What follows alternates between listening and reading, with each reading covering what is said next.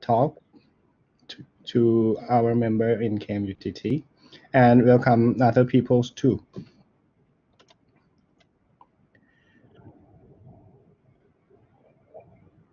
Uh, okay, so um, let me, um, I, I want to go to something that I uh, left open uh, last time. Uh, I, I, I, was thinking about it uh, recently, and uh, so let's let's go here.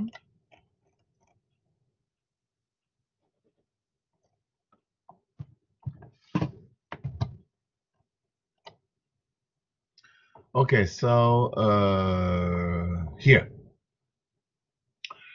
So if you remember, uh, I showed you that uh, these two sets are hyperconvex, huh? H1 and H2.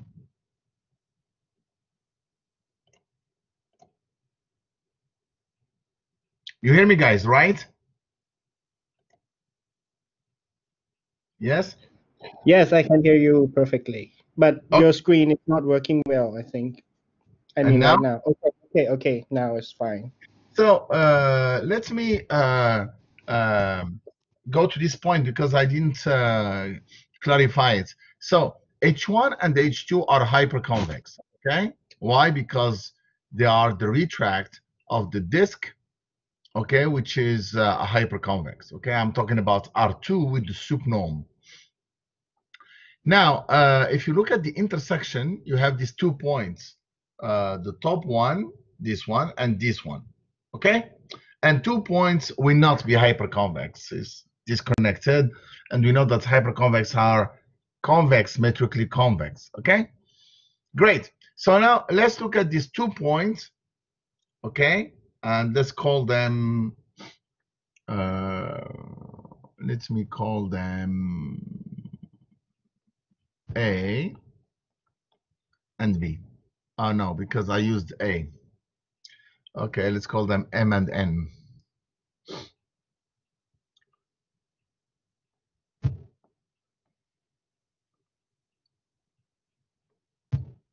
M and N. Okay, so uh, if you look at uh, the set uh, C equals M and N, it's not hyperconvex. Okay? So if we look at H, oh, oh, oh, oh, that's A. Oh, I'm sorry, I'm sorry. That's A. Okay. So I have to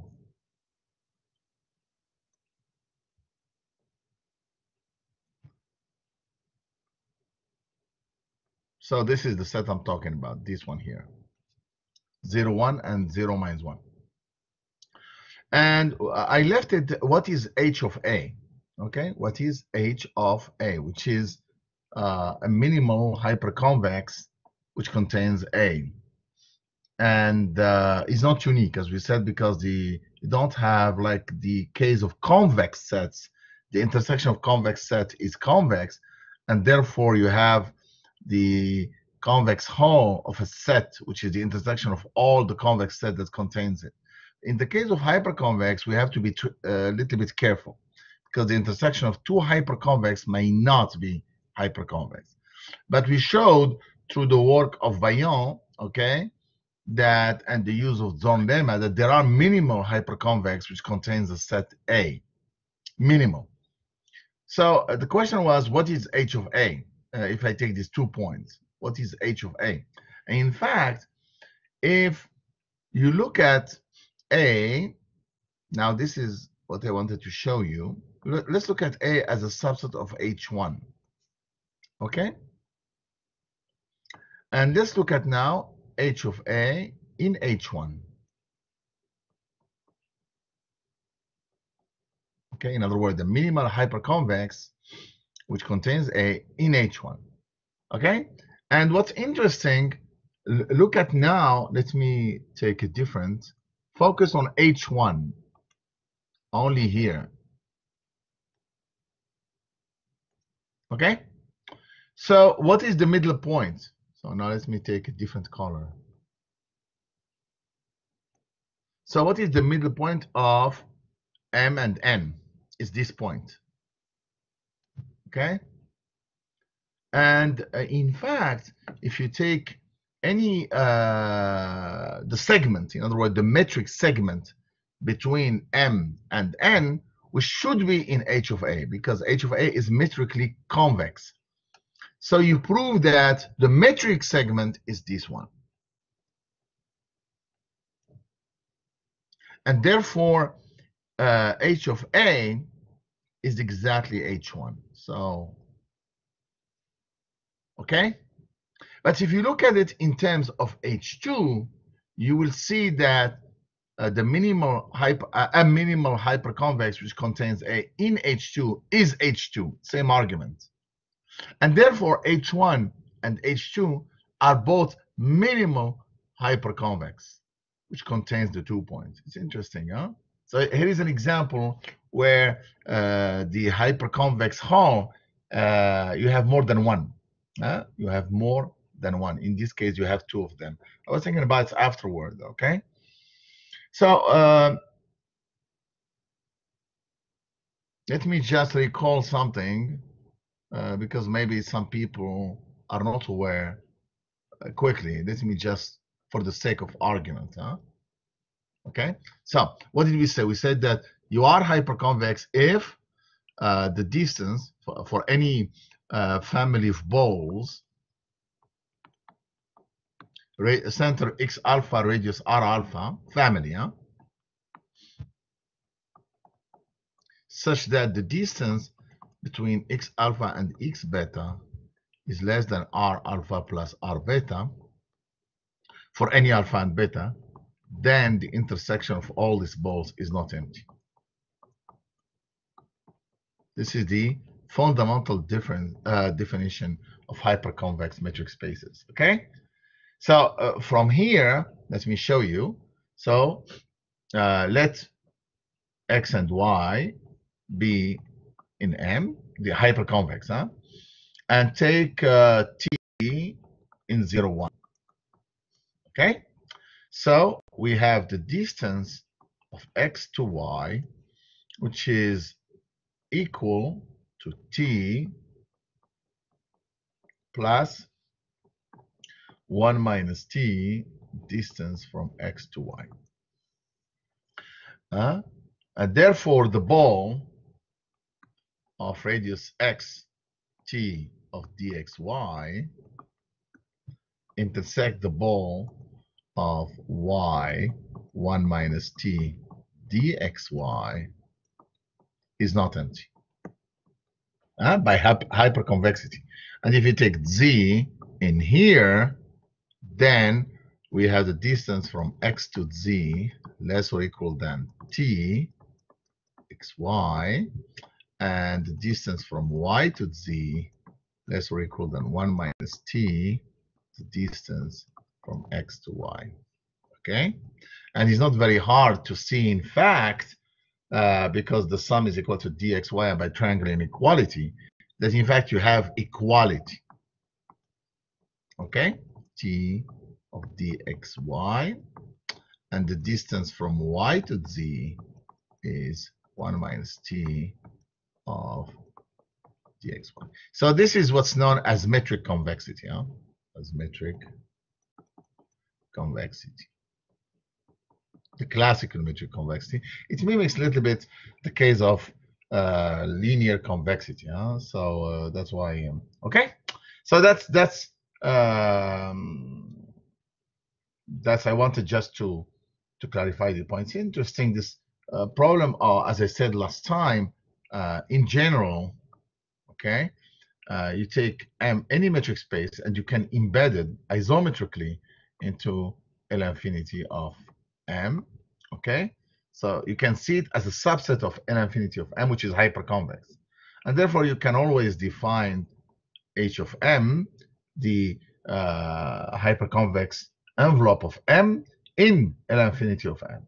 Okay, and the, the, we have it by Zorn lemma and by Baillon and so on and so forth. But the problem is uh, they exist a minimal element. So they do exist. Okay, uh, they do exist.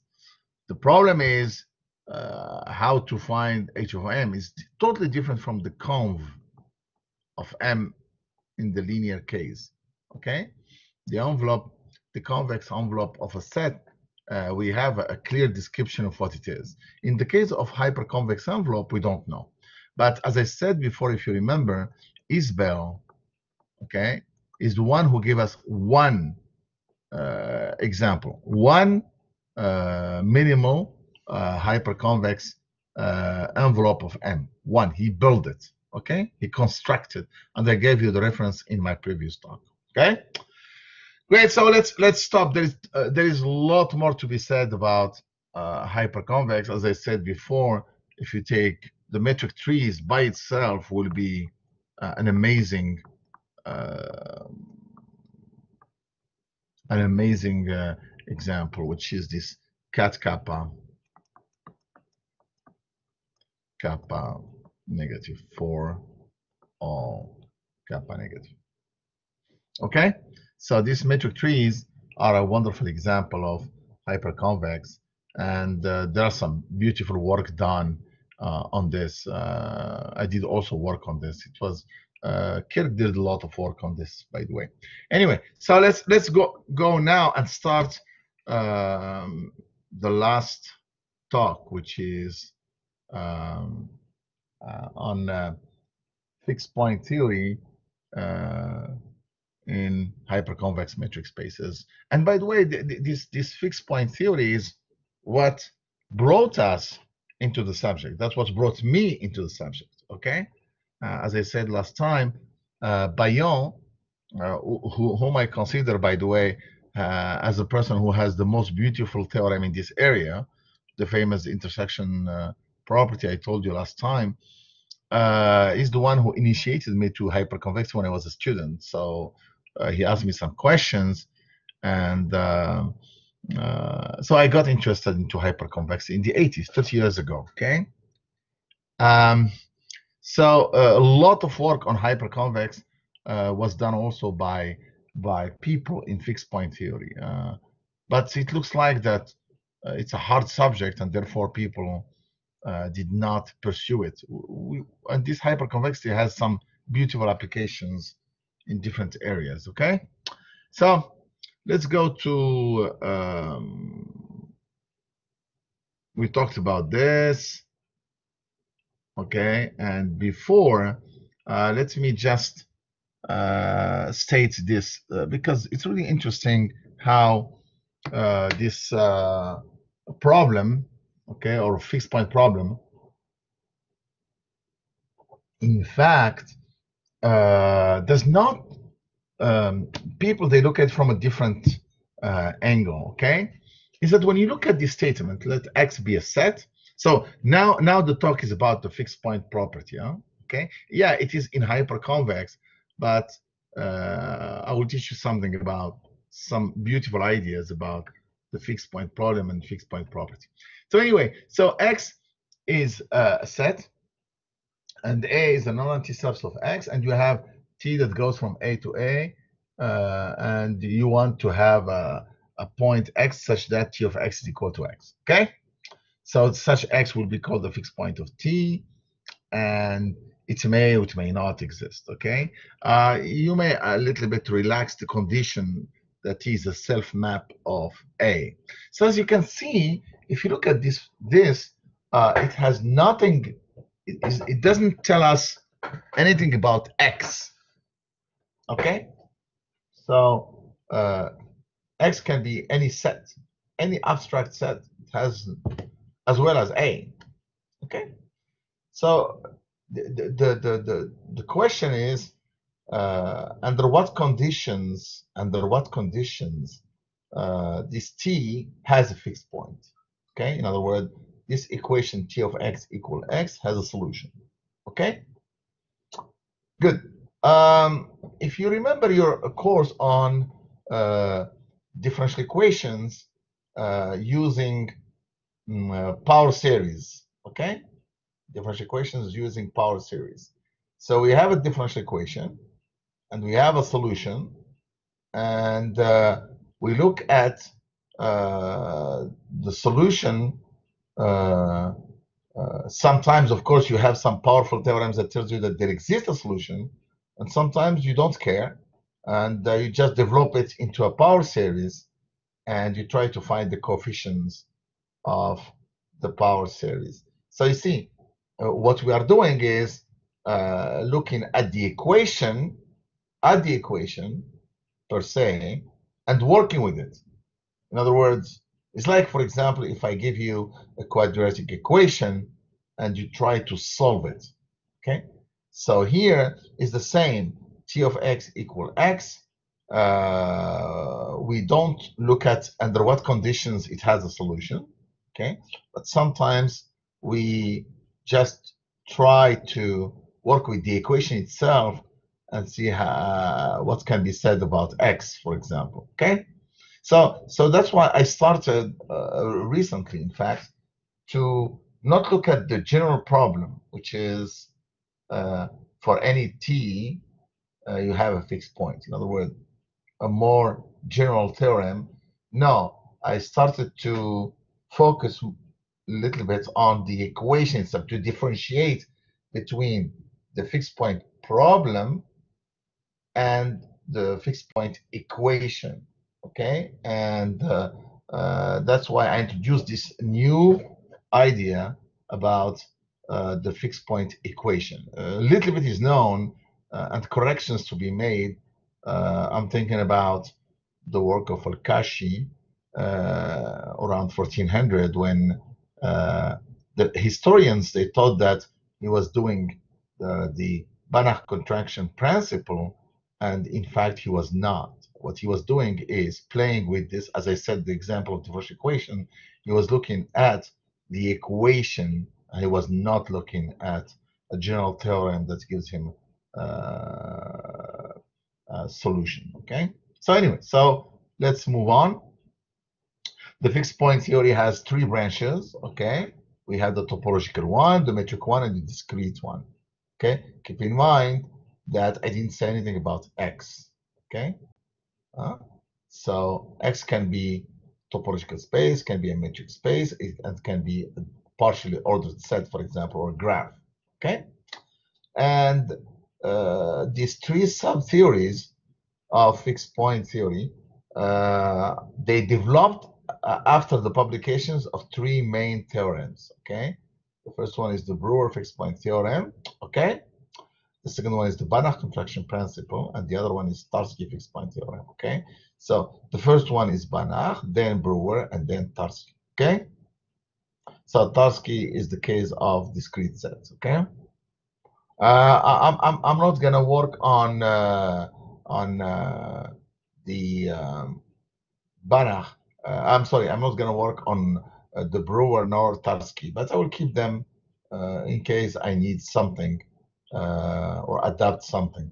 But the main focus in this talk will be about the Banach fixed point theorem, okay? I'm sorry, the metric fixed point theorem. Sorry, sorry, the metric fixed point theorem.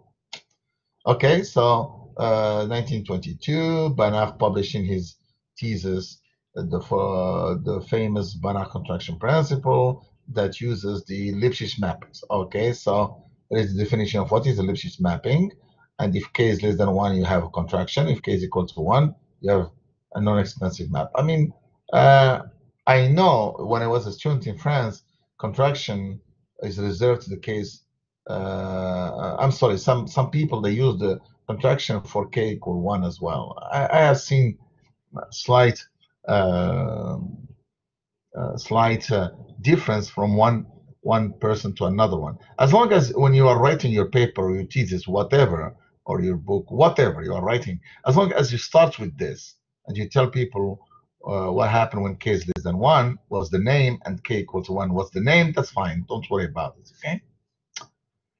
Uh, so here is the theorem, the famous theorem that says that if you have a contraction with a constant k, then the orbits, okay, all the orbits, they converge and their limit is unique. All of them, not the, the limit is unique, we know that but it's independent of the starting point. Okay, it's independent starting point, and they do converge, and the limit, because t is continuous, is a fixed point. So you have a unique fixed point, okay? And all the orbits, they converge to it. And you can start with any x, okay?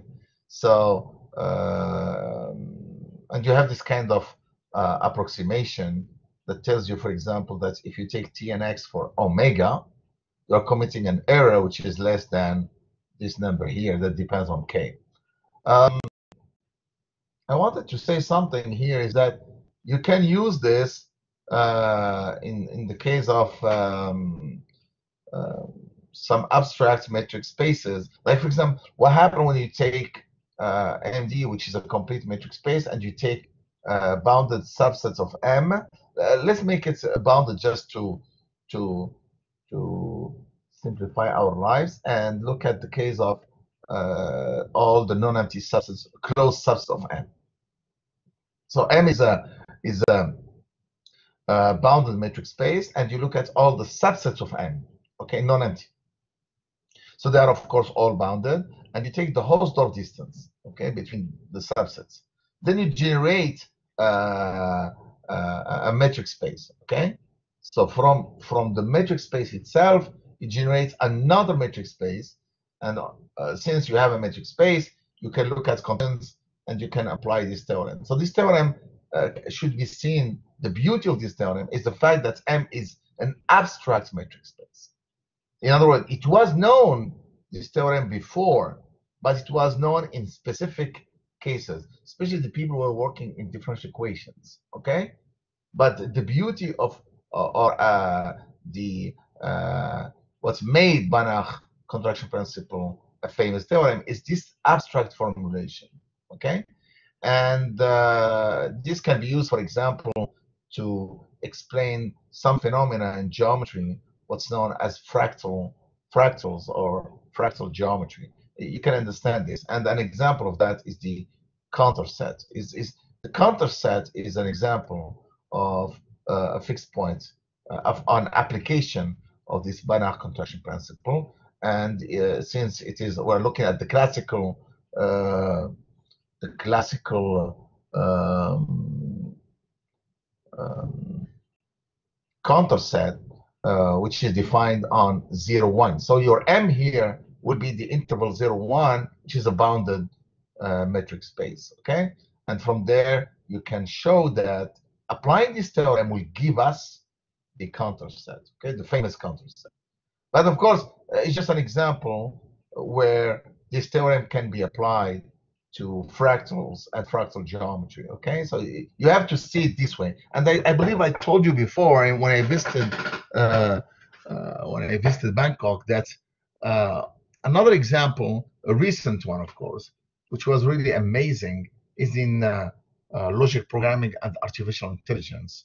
Uh, it was uh, Fitting computer scientists who, uh, the people, they did not understand something that was happening with some programs, okay? Um, basically, it was after countable uh, compilation of something, we ended up having our model or the solution, and things works just fine. And they didn't understand why, why it happened uh, in a countable fashion. And it was Fitting, who, uh, I have this paper, by the way, if you're interested, who told them that uh, what's happening is, is, basically an application of the Banach contraction principle. So, so it's really uh, uh, the power behind this theorem is the fact that we should look at it from an abstract point of view. Okay, an abstract point of view. Okay, so uh, what happened when k is equal to 1? Okay, what happened when k is equal to 1? So in this case, t is no longer a contraction and it becomes non-expansive. And the case of non-expansive, it's it's really complicated. So in other words, though the theorem is very simple for contraction, for non-expansive is very complicated, extremely complicated.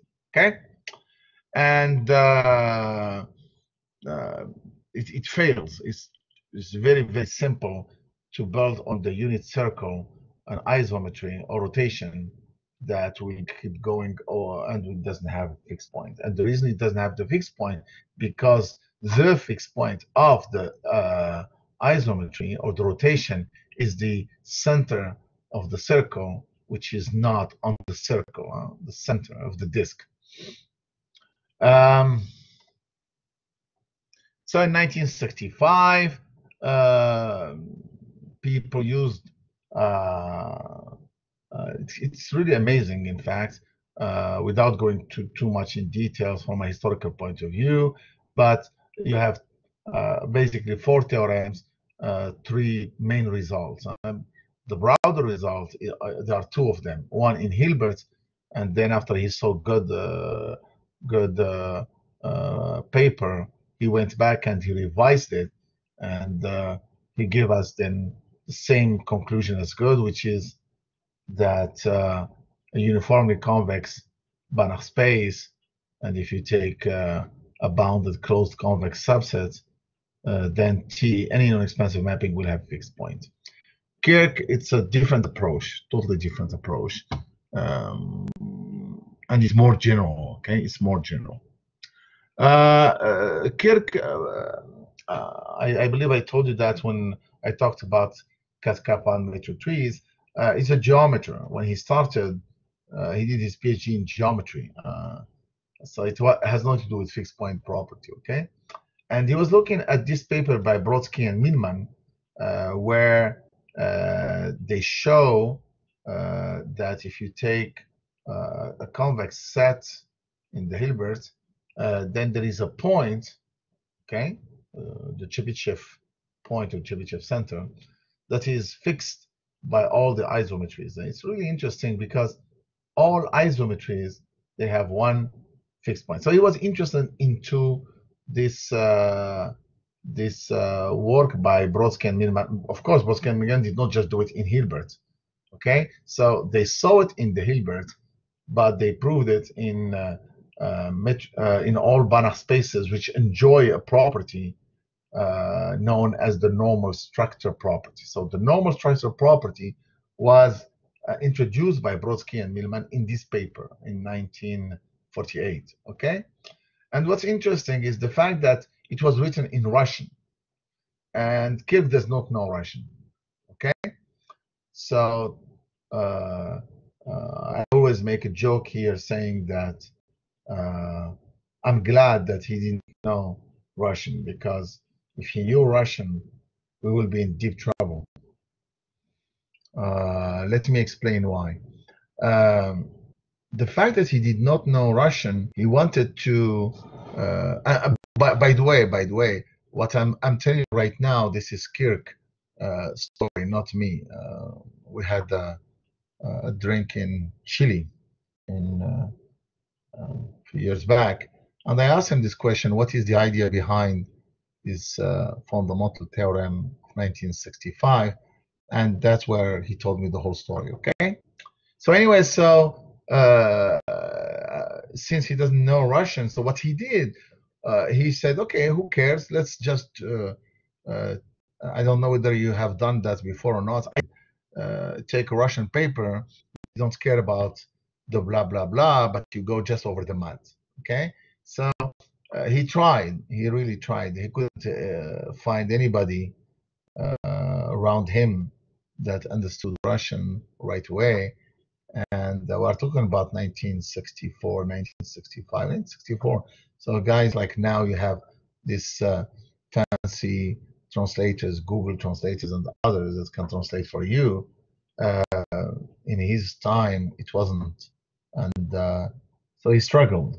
And he tried to redo it on his own okay? So he couldn't understand. He, he was trying to read the math and try to come up with the proof and understand it uh, by just looking at the math without the text and he couldn't. So finally he sat down and he looked at the math and he helped himself a little bit.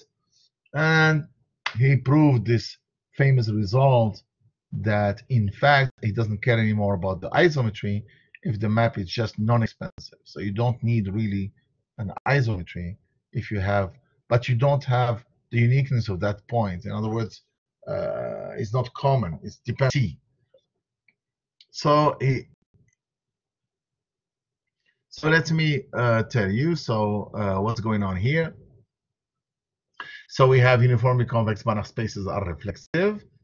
Closed bound convex cells are compact, then you have some kind of compactness in the air, okay? So uh, let's assume that we are weakly compact. You don't have to be in uniformly convex. We can have reflexive Banach spaces without being uniformly convex, okay?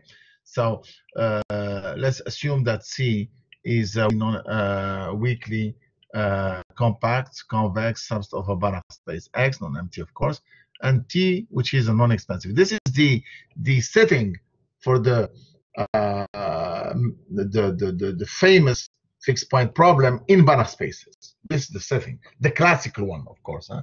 classical one.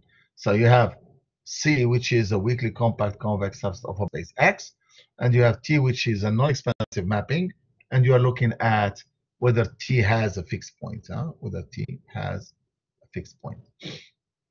Okay, so uh, what is the approach, okay? So the approach is, uh, of course, as I said, sorry, as I said, if you look at Browder and uh, Göhde, they have a constructive proof when X is uniformly convex. Okay, a constructive proof. Okay. That follows the ideas, of course, of Opial and others. Okay, uh, like Ishikawa and so on. And so. But anyway, uh, because they, they, they try to to capture some of the ideas uh, hidden in the Banach contraction principle, basically the orbit. Okay, so uh, let's continue with uh, Kirk because the approach of Kirk is totally different. Okay, so the approach is to look at uh, C. Since we have this weak compactness, we can take by Zorn lemma uh, a minimal uh, convex set which is invariant by T. So you, you look at the family of all the invariant subsets, convex, closed convex subset non-empty of C, uh, and you look at by uh, lemma. In other words, you satisfy uh, the condition of Zorn that any chain has a, a lower um, a lower element, and um, you prove then that you have the existence of minimal by compactness uh, minimal non-empty convexity. So the, the question becomes, what are the properties of K? If if uh, T has a fixed point, assume that T has a fixed point. You have a general theorem that tells you that T has a fixed point. Then that mini set has to be a singleton, just one point. Okay? So you see, uh, if you don't have a fixed point, if T fails to have fixed point, then K is not reduced to uh, a singleton. So K has more than one point. If K has more than one point, the diameter of K is positive, non-equal to zero. So you see, this the, all the the work uh, that came after Kirk, they go this way. Okay, they go this way. Anyway, uh,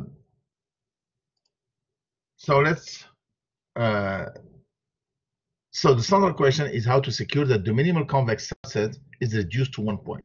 If k is reduced to one point, then we are okay. Okay. So basically, uh, what are the properties?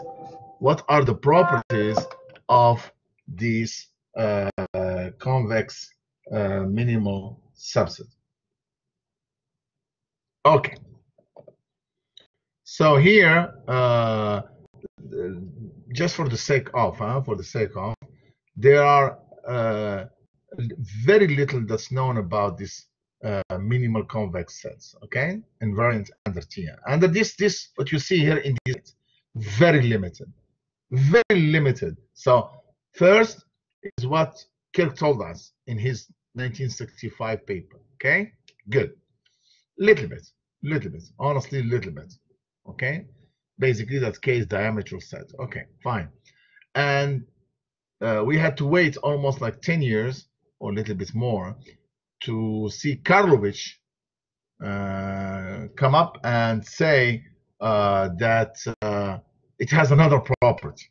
Okay, uh, of course, uh, Goebel. I gave him credit for it.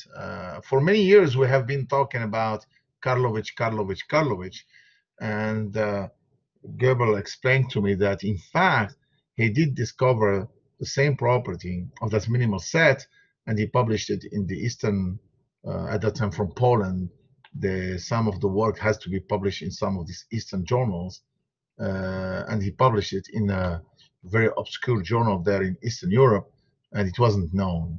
And since then, uh, when he told me this story, uh, I started to put in all my writing uh, Goebel-Karlovitz uh, lemma or result, and now it's known as Goebel-Karlovitz property. Okay, it was uh, funny because uh, the Goebel paper appeared almost on same time in the 70s, and we had to wait till the big revolution of uh, Maurey uh, using the ultra power techniques uh, to see some more results. Basically, what Lin discovered of the superpower of uh, a minimal convex set. So it's it's very very interesting anyway. So so basically very little. I, believe me when I say little, very little. If we know more about this minimal invariant set, then we will get more results on these non-expansive mappings. Okay, and there's so many of them that are still open. Okay, so let's start with what Kirk discovered. What is it that he discovered? Okay, so this is the the first property discovered by Kirk. First the minimality uh, uh, gives you the convex, uh, the closed convex hull of T of K of the image is K. In other words, the T of K generates the whole set K. It's very simple to prove, by the way. Huh? Very, very simple to prove. It's just what you do, you show that this set is invariant, is included in K because T of K is in K, and the conv uh, is in K because K is closed convex, and therefore this is a subset, okay? And you show that this one is invariant by minimality, they must be equal. So it's very simple, no big deal. And this one, uh, this one needs some work, okay? And uh, let me explain what it means here, property number two, because property number two has something to do with Brodsky and Milman. But anyway, you can prove it. Huh? We can prove that in fact so let me, I think, uh, hold on, hold on. Let me uh, see. Uh, to explain two, I need to explain two because you have to. Uh, no, it's coming later. So let, let, let, let me just explain something here. So here we are. So you have a convex set. And uh, of course, be careful because you will not see it because you are in the Euclidean plane, and therefore it doesn't work. What I'm gonna be saying, okay? It doesn't work. So, but let, let me show you something. So every time you take uh, take uh, the, the, circle, uh, the circle can give you a picture of what I'm saying. Yeah. So uh, the diameter here of the circle in this case is 2. I'm taking a unit circle, for example. And if you take any point and you look at the supremum of all the distances, huh? okay, any point x, and you look at the distance from x to any point, okay, and you take the supremum, this will give you 2 because you have the uh, this point here, okay, the distance is 2 and therefore it's less than 2. We know that. And it's equal to 2. Okay, so here uh, the supremum of the distance from x to y for any y in the set is equal to the diameter of the set. Okay, for any x in the set. Okay, so uh, if you go now to understand what some of the stuff, if you take now any set a, and you take a point in the set. Okay, let's say here x, and um, see if I can erase. Yeah. So uh, what, in in the normal Euclidean geometry, huh? So what is that that point here? Uh, is gonna be uh, right here. The farthest point, the supremum, the farthest point is right here, and therefore, you see if you look at now, take the circle centered in X with radius this distance, it will contain A.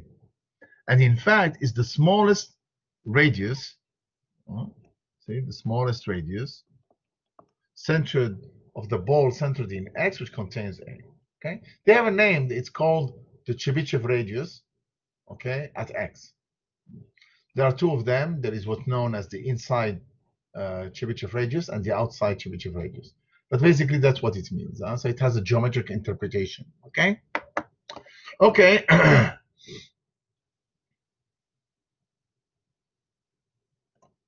so here, what what does it says? It says that uh, you have this two. Okay, this property two and uh, the Chebyshev radius, it means that Chebyshev radius at x is equal to the diameter, and this is the definition of what's known as diameter point, okay, a diameter point, meaning that every element of k is a diameter point. So we call k a diameter set, okay? Great, so this was discovered by Kirk. And the Brodsky and Milman property, or the normal structure property, forbids two. Okay. By the way, you need property one to prove property two. Huh? Okay, you need it. Without one, you cannot get it. So uh, that's it. So you have Brodsky Milman, the property, which is the normal structure property, tells you you cannot have more than one point and be diametral. You need to have a non-diameter point. Okay. Uh, so uh, see it right here. Huh? This is the normal structure property, the definition tells you that uh, if you have a set with more than one point, okay, the diameter is positive, more than one point, it, it contains a non-diametral point, x0, which means that the Chebyshev radius is less than the diameter, okay? So if you have the uh, a weakly compact convex subset, and if you have the normal structure property, for sure 100% you have a fixed point. This is 1965 paper of Kirk, okay? And uh, it's amazing why, because uniformly convex and Hilbert spaces, they all enjoy the uh, normal structure property, okay? And therefore, uh, uh the, the, theorem of Browder and Göhde of 1965 are a special case of Kirk's theorem, okay? So uh, Kirk's theorem took over and the people looked at this theorem as the theorem and they start working on this metric fixed point theory uh, from so 1965 all the way to 1979 80 uh, mostly the people were interested into the normal structure property. So the normal structure property was central at that time to the people working in metric fixed point theory. It's it's really the center. And uh, if you if you look at, for example, the work of Takahashi during this time, right after 1965, is how to prove this theorem in the case of uh, of uh, metric spaces, non-linear metric spaces. So so the people start to look at, for example, how can we adapt because most of the properties here are metric in nature. Okay, are metric in nature. Okay, so uh, let's continue. Yeah, this is uh, uh, um, meaning that the people they taught at one time uh, during this period of 65 to uh, uh, the 60s and 70s that uh, in fact fixed point property only happens if you have normal structural property. So, so that's what they thought. They thought that some people ask this question, and not only that, uh, they even thought that uh, any reflexive Banach space has the normal structure property. Yeah, because all the examples, uh, they were either reflexive or super reflexive. And uh, of course, it was uh, James in 1972 who took the little L2, renormed it, and he showed them that you may not have the normal structure property. Yeah. And then, of course, Baillon discovered that it has something called asymptotic normal structural property and uh, but it kept it kept going okay? It kept going. Uh, the, the real break happens at the end of the 70s early 80s that's where things started to take a different route. Uh, and by the way still a lot is unknown. These are hard questions. I mean as you can see uh, the Kirk fixed point theorem it took uh, what? It took uh, almost 40 years, 42 years to get something, 43 to get it going. but still little is very uh, known uh, in this area. I'm talking about profound questions. I'm not talking about this artificial stuff that the people are doing in terms of generalization here, generalization there. Okay. So now, uh, as I mentioned, uh, what's his name? Takahashi uh, was looking at the uh, uh, Kirk theorem um, in metric spaces. So the people wanted to uh, look at this theorem and see whether it's the validity of this theorem in uh, metric space. So let's let's look at now the theorem. I, I want just you to pay attention. Let's look at it. I want to um, we want to go beyond the statement here. Okay. Okay, so let me see how I can use my uh, my my my uh, my pen. Okay. I have been off for quite some time, guys. That's why. Okay, so let me use the blue one. Uh, so what do we have? We have the normal structure property. The normal structure property is definitely metric. Now remember, do you have the uh, radius and uh, you want to say that the radius is less than the diameter, non-diameter point, and all this stuff. So it's metric. Okay, period. Okay, so where are we now? We don't want Banach, yes, because we want to go into metric space. And we have C, which is non-empty, weakly compact, and convex. So in fact, we have two properties. We have convexity and the weak compactness. And that's exactly what uh, uh, Takahashi did work on, okay? So he looked at in a famous paper uh, that uh, convexity, he, he, looked at something called the metric convexity, or the people are calling the W W lambda XY map, this W map. So it's just to capture the convexity, okay?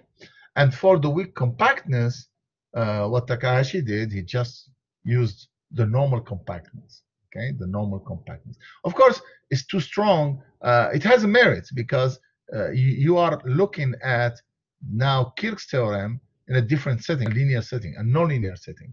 And uh, uh, the problem with that is that when you go back to Banach spaces, you want to, whatever you do, uh, whatever you do, if you go back to Banach spaces, you want to discover this theorem. You don't want to discover something that has weaker assumptions. So it means it's not a good extension, okay? And that's the problem with the, that uh, version of Takahashi extension to Kirk's theorem to metric spaces. The problem was the fact that he assumed compactness for the distance, which means that when you go to uh, Banach spaces, what you have now is C, which is compact. And if C is compact, convex subset, and T is non-expansive, in fact, T is continuous, is enough. You don't need uh, to have non-expansive behavior because we have Brouwer fixed point theorem. Okay? So anyway, so let's continue now. Uh,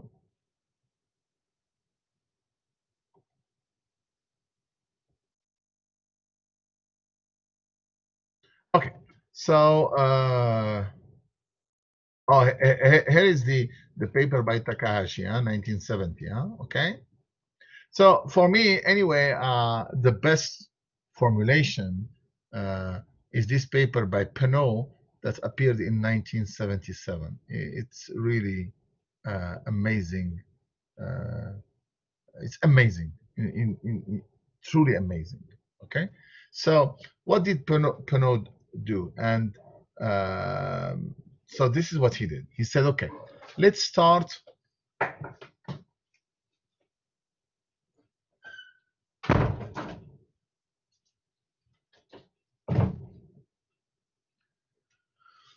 Sorry about this. Um, so uh, let's start with what is convexity. Okay, so the approach taken by Takahashi is a linear convexity, huh? meaning that uh, if you have uh, x and y, yes, then you have something like alpha x 1 minus alpha y. Uh, it's an abstract, it's an element such that the distance from x to z is equal to 1 minus alpha dxy and distance from y to z equal alpha dxy. Okay? So uh, this is just an abstract notations. Remember that he called it alpha x y, what's his name, uh, Takashi. Okay? Hmm? So uh, many people looked at the metric convexity. And if you're looking at iterations, you have no choice than to do this. What Penot did, he looked at it from a set theoretical point of view. Set theoretical point of view. So he said, uh, let's consider a concept called convexity structures. Okay. So what is the what are the minimal properties satisfied by convex set is that the intersection of convex set is convex. So he said uh, a family of subsets of M is a convexity structure if the empty set is there, M is there, and S is closed under arbitrary what? Intersection. This should remind you a little bit of topology, all right? That's how we define topology by looking either at the open sets or the closed sets. So for the open sets, you have the intersection uh, I'm sorry, the union of open sets is open, but the finite intersection of open sets is open. Here you don't have that. You only have one property, which is that uh, intersection of convex sets is convex. Okay, so it's an abstract formulation. So you have two uh, definitions. One via this metric convexity or segments. Okay, and here via an abstract formulation. Okay. By the way, the people are working in economics. Uh, I have a book uh, that uh, these convexity structures they play a role in uh, uh, economics as well as in, uh, for example, some optimization problems. So it, it's a concept that is very profound. It's not just for the sake of. in any case, so this is the convexity that was introduced by Penot. Okay.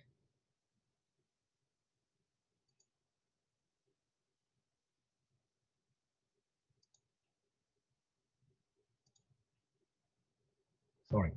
Uh, so uh, we have now the convexity. What about compactness? Weak compactness. Remember, we have compactness and convexity in C. The non-expansive mapping T is easy, as well as the normal structure property. Okay, that's not a problem huh? because it's metric. Okay, so what happened? Now we have convexity. It captures it to the convex structures, and for the uh, compactness, he used the, the topological definition of compactness. Okay, so of course, what is the fundamental difference between this and uh, Takashi? Takashi, when he assumed compactness for the distance, the compactness, the strong topological compactness, okay, he did it for all the closed subsets of M.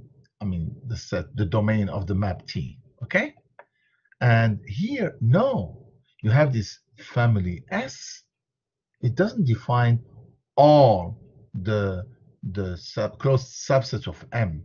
The family of all closed subsets of M is a convexity structure, but it's too large. So you can make it smaller. And then you assume same definition as the normal compactness in this case, meaning that for any family of elements of S, okay, if you have the finite intersections are non-empty, then the total intersection is not empty. I mean, the normal uh, definition of compactness. So we will say that S is compact, okay? S is compact. So convexity structure is compact. Um, okay. Now, uh,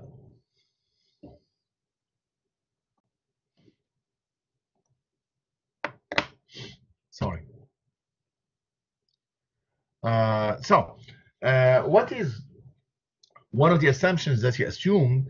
Uh, but by the way, the convexity structure has nothing to do with M being a metric space, as you can see. I'm not using M is just an abstract set, so M can be a discrete set. Okay, very important. M is just an abstract set. So we are going to look at it in the case of a metric space, but it doesn't have to be. Huh? It does not have to be.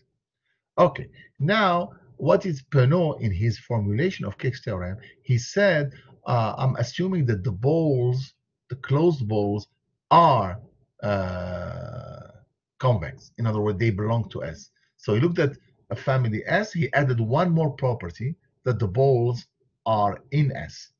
Okay, so if you have the balls in S, uh, you have the intersection of balls, and the intersection of balls, course, non-empty uh, intersections, uh, because you, you have already the empty set. That's why. So you have what's known as the admissible sets. What is an admissible set? Is an intersection of balls. Is an intersection of balls. In fact, the set of admissible sets is a convexity structure. Okay, because if you take uh, an intersection of an intersection of balls, you get a huge family of balls, and you're just doing their intersections.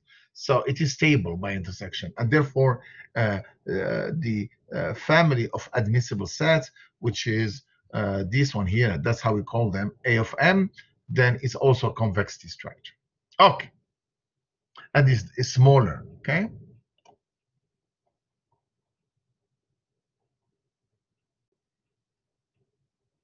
Okay, Kirk's theorem. Okay, so now we're ready to to have. Uh, uh, so Penot, he has what now? Um, so here is the compactness. That's what I told you. Uh, remember, you have the finite intersection property. Then you have the total intersection, which is non-empty. So by the way, this this compactness captured the weak compactness. How? Because we have a characterization in the case of Banach spaces that if the co closed convex sets they satisfy this this property, then the the big set is weakly compact.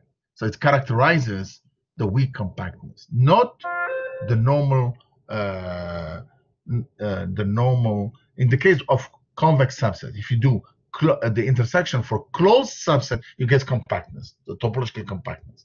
But if you go for the closed convex set, you get weak compactness. Uh, it's a little bit tricky.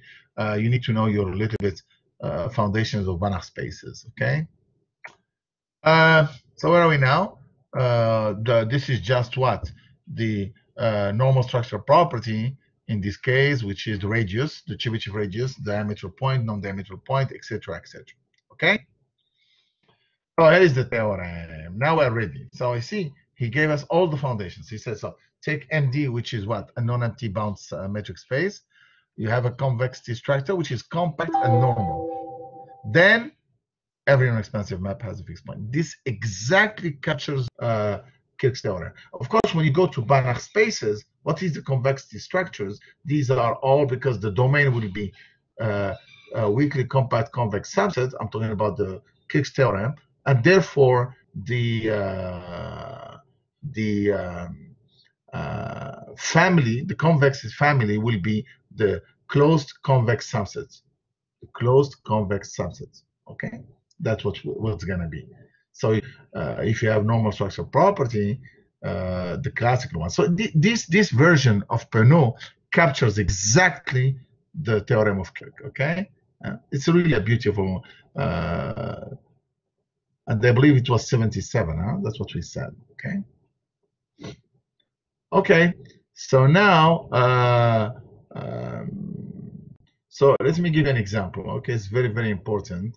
Uh, if you look at the example of little L infinity, okay? Uh, let me, I want to explain this. This is, this, this brings us to, um, yes, on. So let's look at now little L infinity. Okay, what happened in this case? Uh, little infinity, it fails the normal structure property. Okay, great. But if I take now the family of admissible subsets, okay, then uh, it has the normal structure property. Okay, and uh, not only that, it's also compact because admissible subset. Huh? It's compact because L infinity is the dual of little L1. And therefore, the balls uh, are uh, weak star compact. And therefore, you can use weak star compactness to show that this family is compact. Okay. So this family has uh, the normal structure property and is compact. Therefore, of course, you don't have L infinity, is not because it's unbounded. But if you take any C which is an admissible subset. Okay? And you take T, which goes from C to C, then you have fixed point, non-expansive. Okay? So in other words, the theorem of Kirk and the Penot's formulation works in this case, meaning that uh, admissible subset of an infinity or balls, in fact, any ball. If you take T, uh, C as a ball, then if you take any ball, okay, in ill infinity, and you take T, which is non-expansive, okay, self-map of the ball, it has a fixed point. This was unknown. You couldn't capture this by by uh, the previous uh, 1965 uh, theorems or the knowledge that was done before. We couldn't. Why? Because infinity is a very bad space in terms of geometry. Okay, so the, to, to to see that the admissible subset of little L infinity are normal, are uh, they have the normal property. Uh, this is a combination of Penot's work and Kirk, of course. Kirk is the one who, looked at this example. But again, I, I want to take you to the case of uh, 1979, uh, 1979. Uh, okay, as you can see, there were two papers. Okay, published uh, in 1979, Sine and Soardi. Okay, and uh, as you can see there, the theorem, it was Kirk, Kirk who noticed this. Huh? So their their statement is slightly different than what you see here, but basically they reduce to this. Okay, which is that if you have an admissible subset of a little infinity, and in a non-expansive map has a fixed point. It's new because it doesn't fit the classical stuff uh, the people who worked on the geometry, it doesn't work. Okay, it doesn't work. It's really amazing. This here is amazing. So 1979 saw now uh, an explosion, a new direction. Okay, meaning what is special about infinity? Uh, infinity, as we saw in the previous two lectures, is hyperconvex. Therefore, the question becomes uh, what, uh, uh, what happened. And by the way, admissible subsets are hyperconvex. Intersection balls are hyperconvex. And what's the difference between A and infinity? They're bounded. So what happened now if we take a bounded hyperconvex metric space? Okay. So th this uh, uh, now brings us to what's known as the work of it was Kirk who set it up, uh, and he got people interested into this hyperconvex metric space. It was Kirk who, who told us this. Okay, the concept of hyperconvexity existed, as I told you, that was originated in Panik and it was very early on in the 50s and even before. But the point is that Kirk is the one who saw in that two papers by Sine and Soardi that in fact his theorem of 1965 can be stated in terms of what? Of hyperconvex metric spaces. So what do we have? We have this R of X, which is the Chebyshev radius, yes? You have R of A, which is the infimum, okay, of all these Chebyshev radiuses, which is known as the Chebyshev radius of the set, delta of A, which is the diameter, and the center, which is uh, the set of X such that the Chebyshev radius of A is equal to the Chebyshev radius at X, okay? So these are geometric properties are well known. It has nothing to do with uh, what's known in general. Huh? In general, we have the triangle inequality, the diameter of the set of Yes? Are you there? Am I talking to myself? No, no, we're listening. Ah. Let me know huh, if you want me to stop or something. I'm still almost done. I'm still enjoying. Okay, good. So uh, in general, in general, we have this uh, uh, inequalities, which is that the diameter of a over 2 is less than the radius, which is less or equal than r of x, which is less or equal than the diameter of a. It's, it's true in any metric space. What's amazing is that the optimal one, which is that delta of a over 2, you can reach it in the case of hyperconvex. Ah, now the question becomes, okay, uh, the question becomes, uh, so you, you see it there. Huh? If two, uh, if r of x is less or equal than delta of a over two, then we have this inequality. Okay, good. So which means, by the way, that x is in the center. Okay, in the Chebyshev center of the set. This is the best case scenario. Huh? The best. Okay. Okay. So now, pay, attention now. Okay, I want you to pay attention a little bit. Uh, let A be hyperconvex bounded subset of A. Okay, hyperconvex, huh? And bounded. Then what do we have? For every xy in A, we have delta uh, d of xy is less or equal than the diameter, which is diameter of A over 2 plus diameter of A over 2. Since A is hyperconvex, then the intersection of these ball centered in x with the, radius delta A of 2 is not empty because A is hyperconvex. Okay? So now take an element in this intersection. What does it mean? Uh, call it z, for example. So the distance from x to z is going to be less or equal than delta a over 2, and therefore r of z is less than delta a over 2, and it has to be equal from what we said uh, above. Okay, so you see, in the case of bounded hyperconvex sets, you have the best case scenario. Okay, you have the best case scenario, meaning that the Chebyshev radius is the diameter over 2. That's, that's you cannot beat it. Okay, it's amazing. Okay, in the worst case scenario, R of A is equal to delta of A if A is what diameter set. Okay, uh, that's the worst case scenario because R of A is between the, the diameter and the diameter over two. Okay, so uh, now this tells me what? This tells me that the uh, hyperconvexity, uh, of course, if you take the admissible subset, uh, you get uh, the compactness from the hyperconvexity, and now we have the normal structure. In fact, we don't just have the normal structure, we have what's known as uniform normal structure. Because normal structure property tells me that r of x there exists an x which is not diametral, which means r of x less than the diameter. Here, no, you have an r of x which is equal to half the diameter.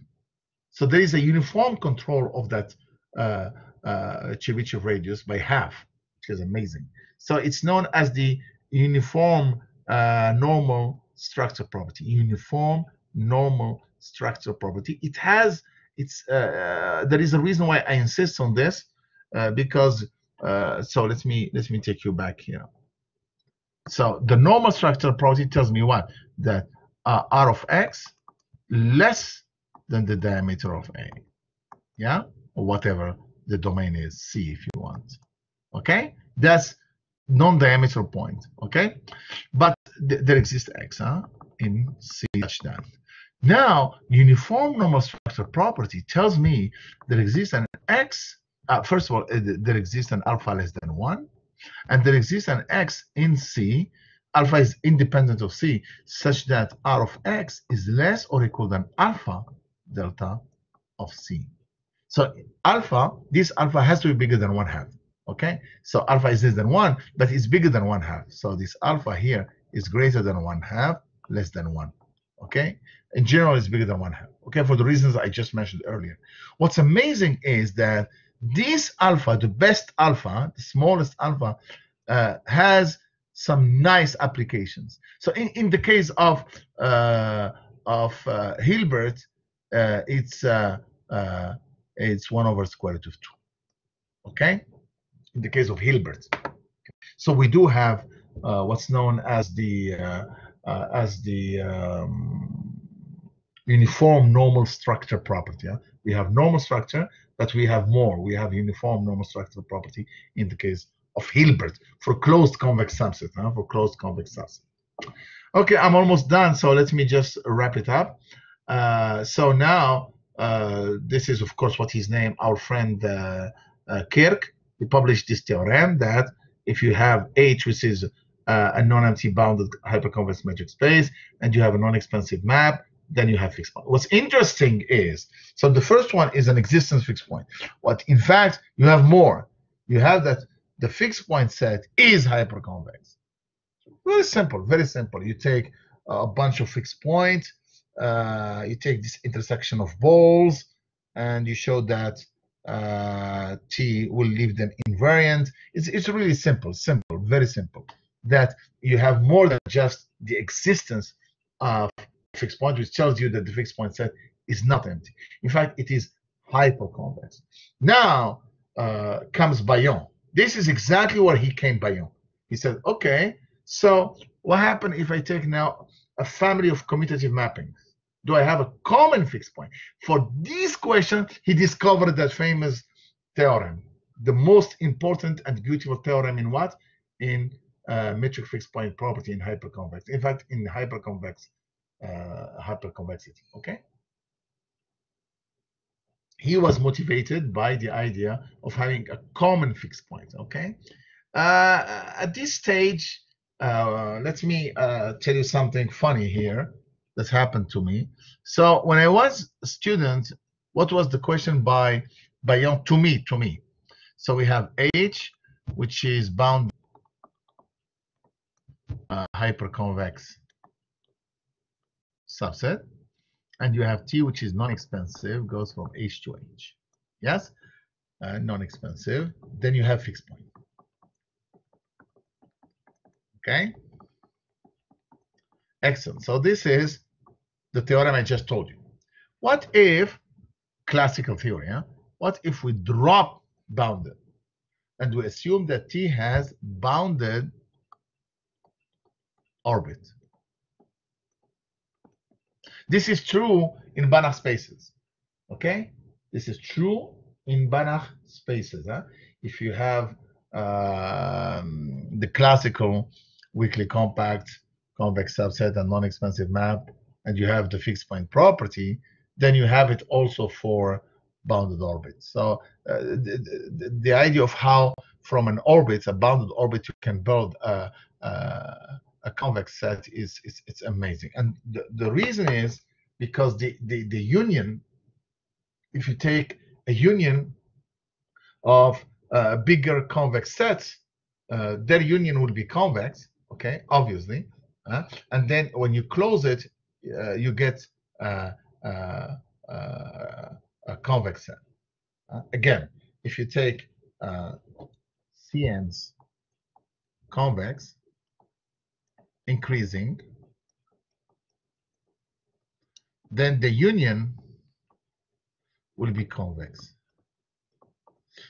And if you close it, it will be convex. So this here gives us the classical case that you can drop the boundedness of the domain and assume that you have a bounded orbit, which is weaker. Okay, so this is well known. So Baillon asked this question. He tried, he couldn't do it, and he asked me to prove it. Okay, that was uh, the first question that Baillon asked me when I was a student uh, to prove that or disprove. So uh, in the last part of my PhD, the last part, I proved it. I proved that uh, if you have a bounded orbit, in other words, if we go back to the theorem, and this, of course, is something I wanted to tell the students who are doing their PhDs, okay? So in fact, here I don't need, I just need H, which is what, non-empty hyperconvex metric space. I don't need bounded.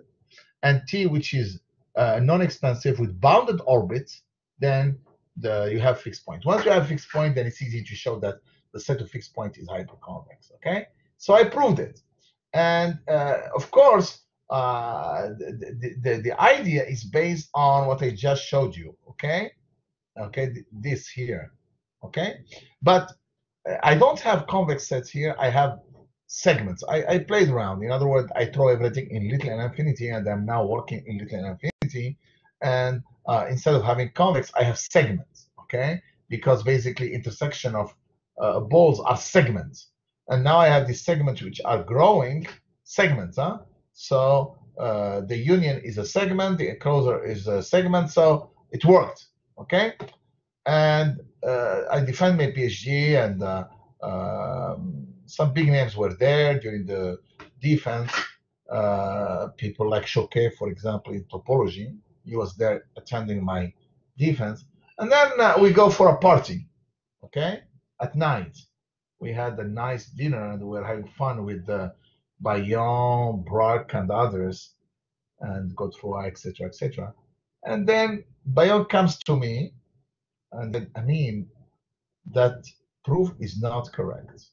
So if you look at my published PhD, uh, the theorem is there. But right there, right there at night, Baillon approached me and he said, that statement, that theorem, that exam, I mean, that property, this property here, for segment in affinity is not is not true. This set may not be a segment. The last one here. Okay. Yeah. So, oh, uh, of course, uh, I was disappointed, but at the same time, you should look at from a positive point of view, which is what that the problem is still open.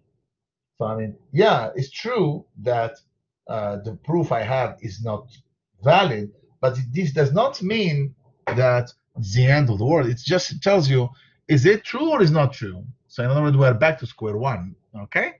So anyway, so uh, years goes by. I believe not that much.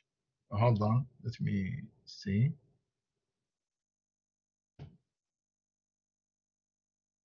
So uh, look at this paper, 1992. Okay.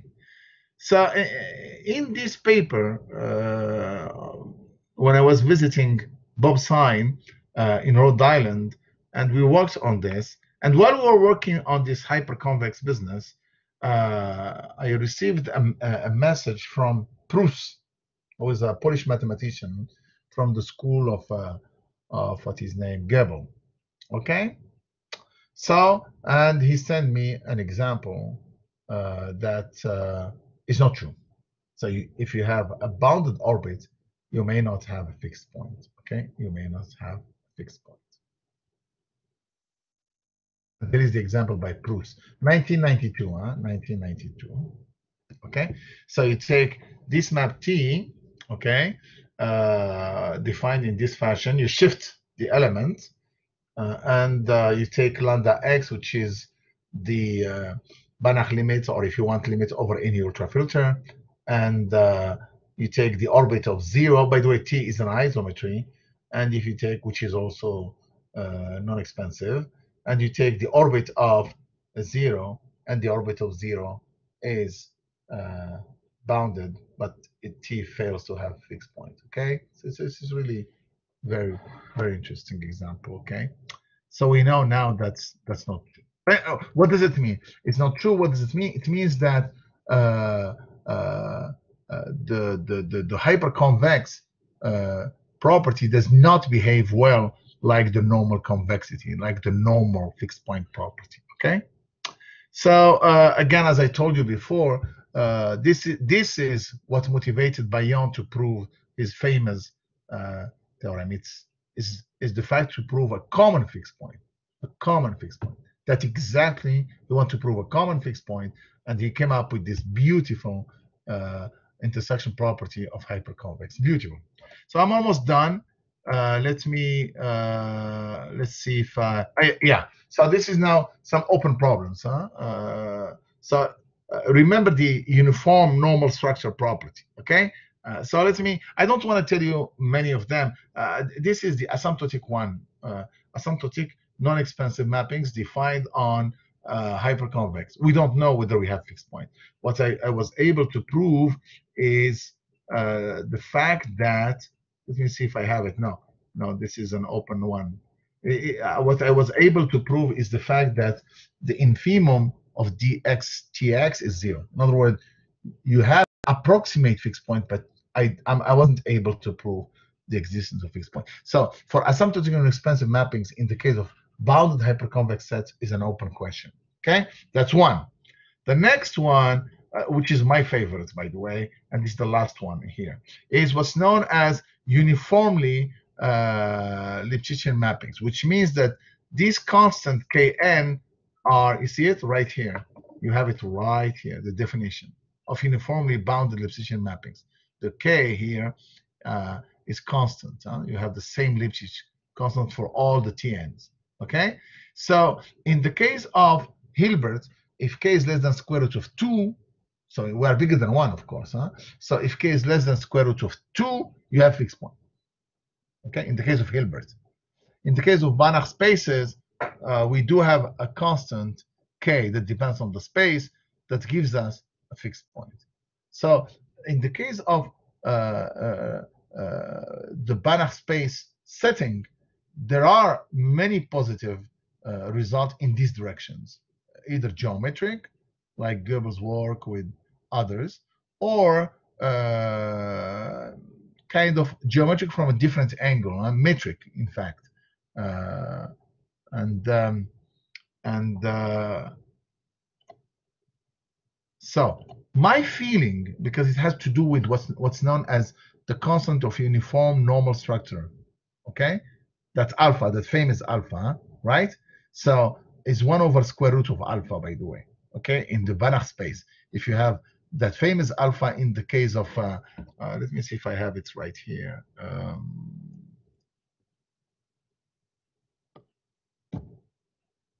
okay, so where is alpha? I'm looking at alpha for normal structure property. Yeah?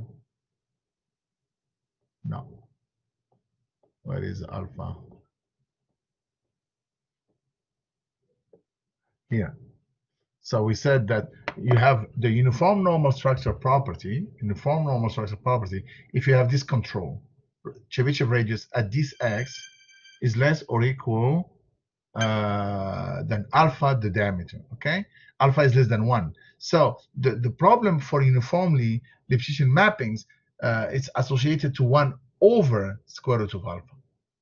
One over square root of alpha, okay?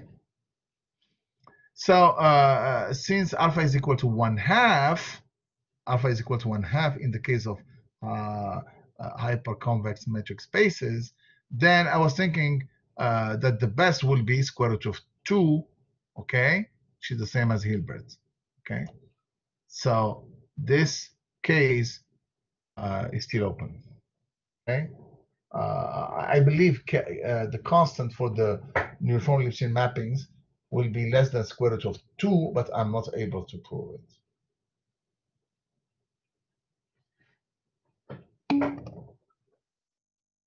And that's what. But, and that's but what you, you got, but, that, you, but you can solve it in the case of metric tree, right? In that.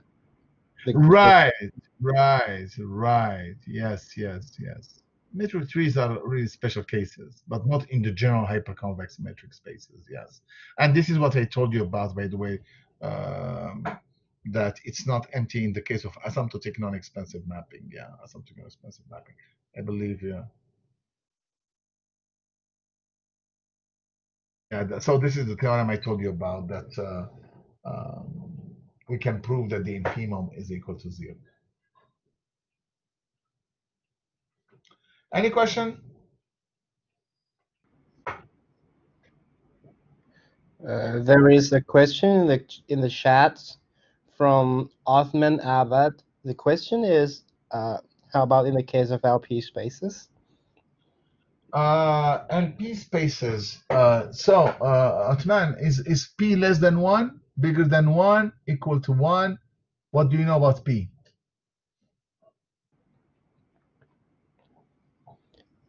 Uh, Othman, please, uh, you can ask him yourself.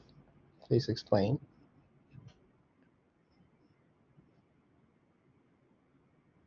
Is he Is still here? I think he left. Uh, what is the problem with that? Let me. Ah, bigger than one. Okay, I'm sorry. Uh, bigger than one. Okay. Uh, uh, there is a reason why I was asking you if it's less than one. Okay. So keep in mind uh, the talk here is about hyperconvex metric spaces. So the only case where you have hyperconvexity is when P is equal to infinity. Okay? When P is equal to infinity. If P is not equal to 1 and is not equal to infinity, uh, I'm sorry, to infinity, then LP falls under what's known as uh, the classical Browder and Göhde uh, fixed point theory, which is uniform convex Banach spaces. Okay.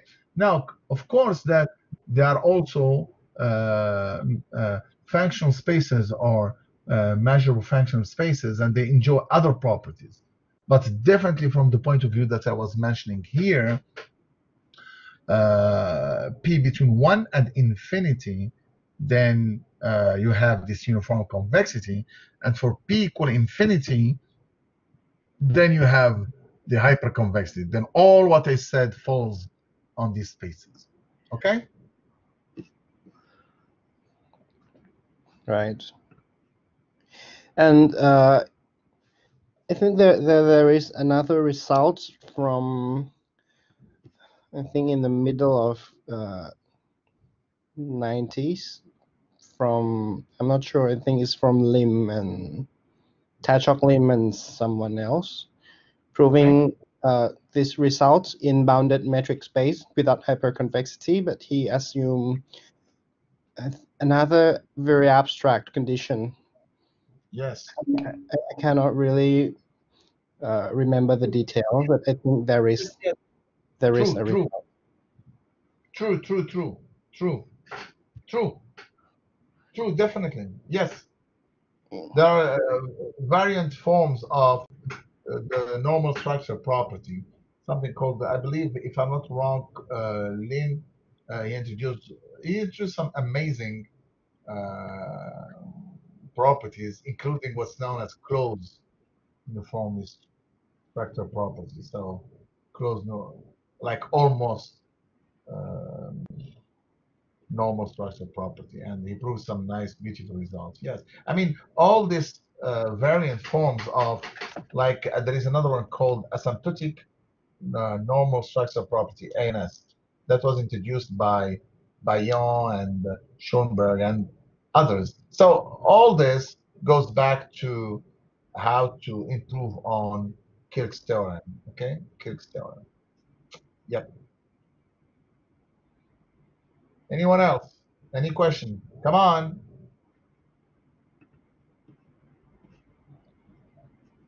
Uh, what's her name? Uh, is uh, thanks, thanks, boom. Is uh, is uh, Supak around? Supak is Is she around? she's here, but I think her network is not so nice. It's not so good.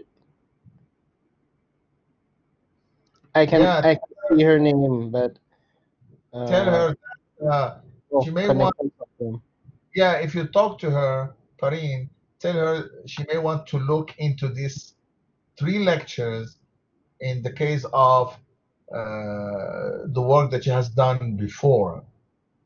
So hyperconvexity in the setting of what she did before in her PhD, for example. Ah, Supak is here. I think. Yeah, there are some ideas there. Yeah, there are some ideas. Yeah, yeah. And it's not, it wasn't investigated, by the way. How about an other versions of fixed points, like in the set valued case? Uh, good question. Uh, very, very minimal. Very minimal. Is it working on interest? very minimal. Very minimal. Very minimal. Yeah. Mm, The theory itself uh, has uh, some room and some leg to go. Yeah. It's hard. I mean, uh, let's not uh, kid ourselves. Uh, it's it's a very hard area. It's a very hard area. Yeah. It's harder than the normal Banach spaces. Yeah. yeah, yeah. I I can understand. but it's it's a very interesting area, and I think it provides a very good um, workaround for our, our infinity space. Yep. Yep. Yep, yep, yep, yep.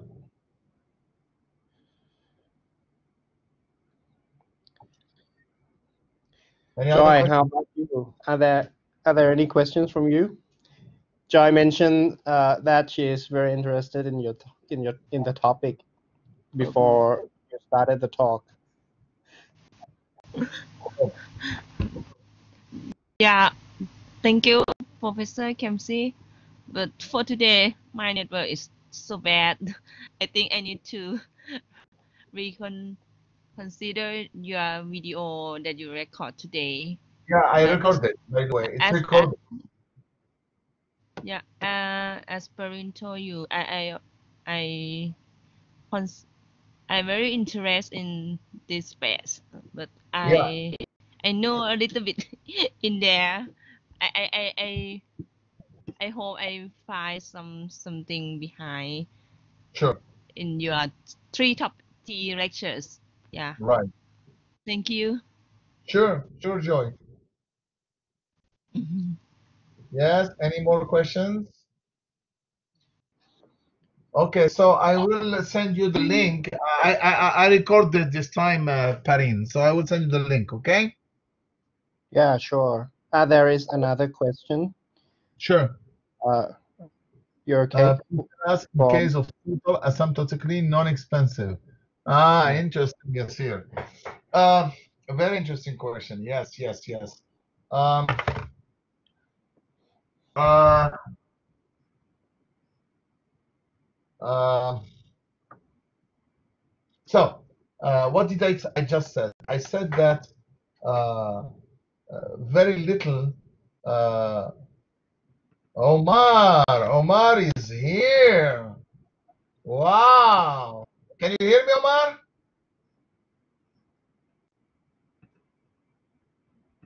Omar. Anyway, so uh, to, answer your question, uh, the answer is no. Let me start from the end. The answer is no. And the reason is because uh, uh, it's very hard to work with these hyperconvex metric spaces. Uh, honestly, uh, they're not as easy to deal with like a normal uh, uh, convex subset of a Banach space, where you have the structure, the linear structure. This hyperconvexity, though it's an intersection of balls, uh, uh, it's, it's it's it's weird. It's different. It's weird. Okay, and that's what I tried uh, to to show you throughout these lectures is that uh, some fundamental differences between hyperconvexity and convexity makes it a little bit more complicated to look into this case uh, of hyperconvex metric spaces. But they do have major applications. Uh, remember what I told you uh, about the uh, SNCF distance uh, and others, and beautiful examples. And it fits nicely. For example, I, I, I didn't do it here. I could have showed you the Tarski theorem uh, using hyperconvex metric spaces becomes Kirk's theorem. It's amazing. Tarski, yeah, which says that any monotone mapping on a partially ordered set, which is complete uh, partially ordered set, uh, any monotone mapping has a fixed point, or order preserving mapping has a fixed point. That theorem is Kirk's theorem. Uh, that, that's that's blew up my mind when I saw it the first time. I worked on this with uh, with Pouzet. So uh, though the uh, hyperconvexity is different from convexity, it has some amazing uh, applications. Yes, yes. So anyway, to answer you, uh, yes or yes, uh, it's unknown. Yeah. So uh, be careful. Uh, try it. Work on it.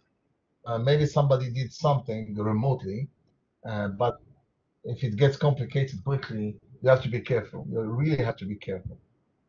Okay? Because otherwise, like for example, the case of bounded orbit, I know that Baillon worked on it a long time and he couldn't get it going. Yeah. Anyway, any other question? The question is, will that be the next talk? Um, we'll see. We'll see. Maybe uh, if I talk about abstract convex spaces, not metric hy- hyperconvex. Ah, right. I think I think Penot is a very interesting mathematician who always metric trees. Or thinks like this. Convexity without convexity, calculus without derivatives, and so on. I think. Yeah, maybe metric trees because they are hyperconvex. Yeah, that's a good idea, by the way. Yeah, you're welcome, Yasin. Yeah, maybe, maybe, maybe I, I will do metric trees. Hmm. Ah, that's a good, good subject. Yeah, because a, a lot is still missing from from there. Yeah, maybe, maybe we'll see. Hmm, yeah. Okay, so I will still mark this series as ongoing. So maybe you have another talk or maybe some talks from us, if possible. Okay.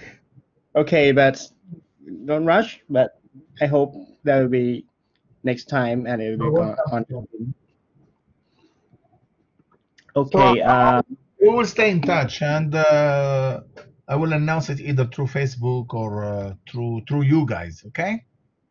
yeah, sure. Uh, Ken. Thanks, Ken for from for joining. Okay, so I think if there's no further questions, let's end today's lecture now. And I have to thank you again, I mean, for your you're welcome. Uh, and uh, uh, also nice that uh, many people did show up. Okay. I'm I'm glad that many people did show up. Okay. Thank you very much. Okay, guys. I'm glad. Take care, and we'll stay in touch. Okay. Okay. Okay, thank you very much. Stay safe, stay cool, everybody. Good night Bye bye. and good morning.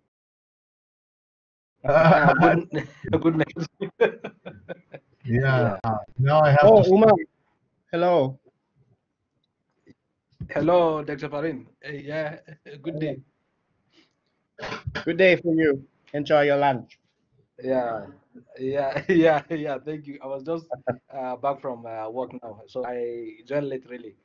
But uh, next time I will uh, try to make it at uh, prompt, inshallah. Yeah. Thank you for for the organizing this great talk indeed.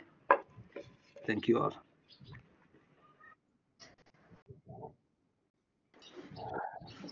Okay. Time, you guys. Okay. Thank I'm- you for. Uh, yeah, go ahead and uh, we'll stay in touch. I'm trying to to stop uh, the recording. Okay, okay. Okay. So stay in touch. I will uh, leave the meeting now. Okay, go ahead and leave it. Yeah, don't worry about it. Okay. Thank you very much. See you next time. Bye bye. Bye bye, my